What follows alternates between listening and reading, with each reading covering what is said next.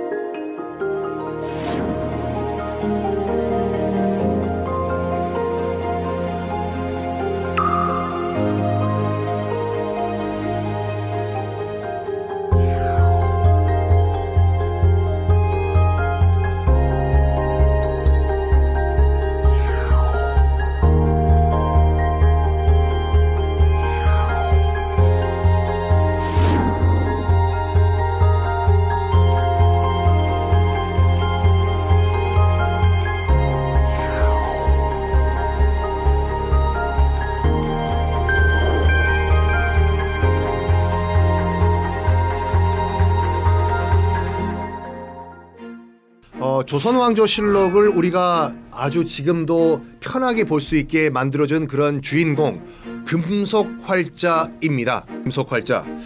어, 이제 활자가 여러분 무슨 한자인지 아시죠? 펄떡펄떡 뛰다 할 때 활자고 글자 자예요. 화로 할때 활. 말 그대로 이제 살아있는 글자다 이거인데 일일이 손으로 쓰는 그런 불편함을 없애주고 한 번 이 활자를 만들어 놓으면은 그냥 그냥 그 위에서 찍어내면 되잖아요. 팡팡팡팡팡팡팡. 근데 그 이전에는 이제 목판 활자도 있었고 도자기 활자도 있었어요. 근데 이건 단점이 뭐냐면 나무로 만들고 도, 이 도자기로 만들면은 오래 못 가요. 금속 활자 이건 정말 어, 우리 민족이 남긴 그 선조가 남기신 유산 가운데 정말 number one, two top급이라고 저는 생각을 하는데 왜 그러냐면 이웃나라 일본과 중국에 남아 있는 게 별로 없어요. 그쪽에는요. 중국 중국에는 지금 뭐 활자로 찍어낸 서적은 많겠지요. 근데 실물 금속 활자는 지금 단 한 점도 남아 있지가 않습니다. 중국은요. 일본 같은 경우에는 임진왜란 당시에 만들었던 한 2만 개에서 3만 개 정도의 활자가 남아 있는데 우리나라는 조선 활자, 금속 활자는 무려 50만 개가 남아 있어요. 50만 개. wow. 그런데 문제는 그 이 활자 대부분이 이제 조선 중후기에 만들어진 보통 한자 활자거든요. 세종대왕의 여러 업적 가운데서 가장 위대 물론 다 위대한 업적이죠. 그 중에 이제 가빙자라는 금속 활자를 만든 업적 정말 우리가 인정을 해 드려야 하는데 문제는 뭐냐면 가빙자로 찍은 금속 활자로 찍은 인쇄본은 남아 있지만 실제 가빙자 활자 금속 활자는 발견이 안 된 거예요. 그런데 이번에 인사동에서 빵 대박이 터진 거죠. 아, 위치는 어디냐? 관아의 창고로 추정되는 건물 밑에서 발견됐어요. 항아리가 처음에는요 그 발굴에 참가했던 사람들의 말에 따르면 그냥 그 금속 덩어리인 줄 알았대요. 그냥 뭐 보니까 조그만 금속 덩어리니까. 근데 자세히 보니까 뭔가 글씨가 써 있는 거야. 이거를 씻어 보니까 아하하하하 조선 전기 때 만들었던 금속 활자인 것이 그때 발견된 거죠. 총 1,600여 점이 발견됐는데 1,000개 정도는 한자 활자고 600여 점 정도는 한글 활자였습니다. 세종대왕이 이제 훈민정음 창제했을 당시에 아, 이 동북 정운이라는 책을 만들었어요. 뭐냐면 당시 그 이 한글 창제를 반대했던 유학자들을 설득하기 위해 가지고 세종대왕이 만든 책이에요. 이거 여러분 기억하셔야 되는 게 저도 그렇게 배웠고 집현전 학자들 그 신숙주 등등등 같이 만들었다라고 배웠는데 아니라니까요. 집현전 학자들은 참여를 전혀 안 했어요. 몰랐어요. 세종이 훈민정음을 만들고 있다는 사실을 혼자 만들었어. 물론 혼자 만든 게 아니라 나중에 이제 왕이 되는 문종이 되는 세자와 함께 같이 만들었는데 집현전 학자들이 몰랐다라는 증거가 뭐냐면 이제 세종대왕께서 이제 나, 나 훈민정음 만들었다 짜잔 주상 전하 왜 만드시냐고 집현전 학자들이 반대 상소로 막 올린 거예요. 전하 실제로 이런 말했다니까 우리가 오랑캐가 되려고 그러십니까? 오랑캐들은 각자 오랑캐 문자들이 있었잖아요. 만주어 등등등등등. 우리도 독자적인 한자 안 쓰고 독자적인 문자를 만든다는 건 우리 스스로 오랑캐가 되려고 그러는 겁니까? 전하!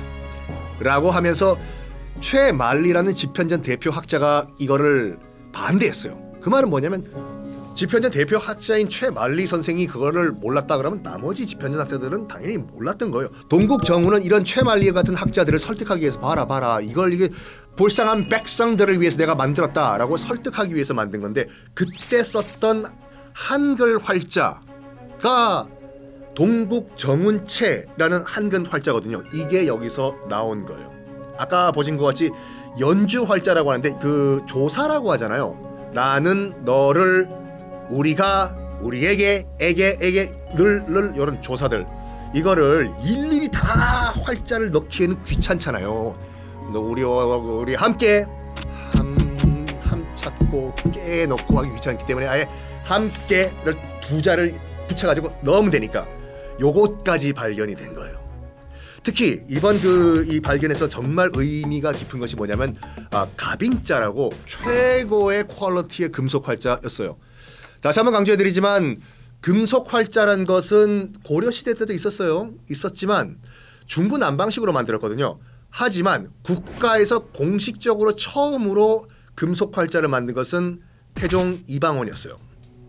주자소라는 관청을 만들어 가지고 여기서 공식적으로 금속 활자를 찍어내자 라고 찍어낸 것이 계미자라고 하는데 개미가 아니라 계미자 계미년에서 만들었다. 근데 주자소에서 이제 계미자로 찍어서 이제 인쇄본을 만들어 보니까 그 전에 있었던 목판본과 비교해 봤을 때 그다지 이게 quality가 다른 점이 없었던 거예요. 이거나 이거나 뭐 아직까지 기술력이 그만큼 못 따라갔던 거죠. 근데 여기서 우리가 그 정말 점수를 드려야 될 것이 뭐냐면 태종도 그렇고 세종도 그렇고 포기를 안 했어요. 그게 쇠로 만든 게 아니라 청동으로 만든 금속 활자거든요. 이거는 이미 중국에서 시도를 하다가 아 이거는 정말 안 된다 해서 중국도 포기한 그런 방식이었어요. 청동으로 활자를 만드는 걸. 개미자 같은 경우에는 이 금속 활자를 만든 다음에 고정을 뭘로 시켰냐면 밀랍으로 고정을 했어요. 밀랍, 밀랍 인형 만드는 밀랍. 퀴즈. 밀랍은 뭘로 만들까요? 밀과 납을 그 벌집 있잖아요. 벌꿀 만드는 벌집을 녹여가지고 가공해서 만든 거예요. 그러니까 사람 얼굴도 이렇게 정교하게 이렇게 어, 뭐 이게 음, 브래드 피트 같이 만들고 하지 않습니까? 그러다 보니까 이 밀랍으로 이 접착제 같이 이렇게 위에 금속 활자를 고정시키다 보니까 이게 위에 이렇게 인쇄본 종이를 계속 여러 번 찍다 보면 이게 흔들리는 거예요. 이게 삐뚤삐뚤삐뚤삐뚤. 그래가지고 몇 장을 못 찍었어요. 태종 이방원은 포기하지 않고 아들인 세종에게 얘기합니다. 나는 여기까지 만들었다. 네가 과학 기술 관심 많잖냐. 네가 나의 아, 못다 이룬 꿈을 만들어라. 완성시켜라. 세종대왕이 아버지인 태종 이방원의 그런 업적을 받아가지고 완성시킨 것이 가빈자였어요. 금속 활자를 대나무 틀로 딱딱딱 고정시킨 거기 때문에 흔들리지 않아요. 그냥 바로 여러 번딱 찍어낼 수가 있어요. 자치통감 같은 책도 가빈자로 찍어 넣는데 문제는 뭐냐면은 이 인사동에서 발견되기 전까지만 하더라도 찍어낸 책은 있지만 가빈자 활자가 없었던 거예요. 그런데 이번에 짜잔 드러나게 된 겁니다. 이왕 금속 활자 얘기 나온 김에 금속 활자 하면 또 저기 또 유럽에서 얘기하는 것이 구텐베르크 얘기지 않습니까? 직지라고 하는 고려시대 때 그 이 서적 최초의 금속 활자로 찍어낸 서적은 1377년에 정확하게 찍었다라는 기록이 남아 있어요. 청주에 있는 흥덕사란 절에서 찍었다 나와 있어요. 정확하게 구텐베르크가 이 성경책을 금속 활자로 찍어낸 것도 1450년 경이다라고 알려져 있어요. 어쨌든 고려 시대 때 직지보다는 뒤에요. 이거는 서방 세계에서도 인정을 해. 그렇지만 구텐베르크를 우리가 약간 이- 어, 업적을 인정을 해줘야 되는 게 뭐냐면은 당시 카톨릭은 부패할 대로 부패해가지고 그 유명한 면죄부를 팔기 시작했어요. 돈 내면 교황이 죄 사해주겠다.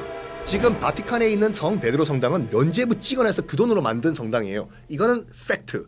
당시 성경은 일일이 사람이 손으로 몇, 시, 몇 년에 걸쳐 쓴 거기 때문에 몰라 일반 백성들은 성경 내용을 그리스도께서 그렇게 하셔, 말씀하셨어 성경 14페이지 나와 있어 면죄부 팔라고 진짜입니까? 좀, 좀 보여주시면 안 됩니까? 나도 몰라 라틴어야 아 이게 그렇죠 이거 안 되겠다 일반 시민들도 백 시민들도 성경을 쉽게 이해할 수 있게 할 방법이 없냐? 활자를 만들어서 찍어내서 저렴한 가격으로 성경을 배포하자 해서 이 구텐베르크의 금속 활자가 무엇을 만들었냐면 종교 계획을 만들었어요. 우리가 알고 있는 독일의 마틴 루터, 프랑스의 장 칼뱅 등등등이 저렴한 가격으로 찍어낸 성경책을 모든 농민들 평민들에게 뿌리면서 봐라! 지금까지 우리들은 속고 살았다! 뒤집어엎자! 해서 만들어낸 것이 우리가 알고 있는 프로테스탄트 신교거든요. 우리보다는 늦었지만 큰 성과를 낸 구텐베르크의 금쪽 활자도 우리가 인정을 해줘야 됩니다. 여러분들 자 피막골에 가서 막걸리만 드시지 마시고 여기에서 우리가 발견한 이 가빈자와 또 동국 정운식 한글 활자 금속 활자 우리가 한번 그 의미를 새겨보는 건 어떨까요? 여러분 다음 시간에 또 인사드리겠습니다. 지금까지 썬킴이었습니다.